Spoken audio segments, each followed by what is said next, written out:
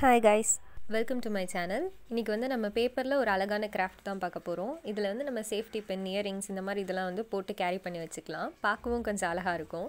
இது எல்லோரும் நம்ம ஸ்கூல் டைமில் பண்ணியிருப்போம் அதுவும் ஒரு சைல்டுஹுட் மெமரிஸ் தான். வாங்க அதை எப்படி பண்ணலான்னு பார்க்கலாம்.